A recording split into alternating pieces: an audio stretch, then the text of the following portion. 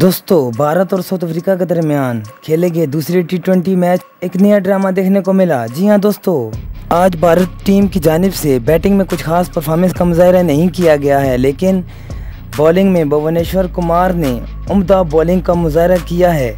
कुमार ने पहले ही ओवर में हैंड्रिक्स को पवेलियन की राह दिखाई, और जब कुमार ने दूसरे ओवर में प्रिटोरियस को पवेलियन की राह दिखाई तो रविंदर डोसन मैदान में आए।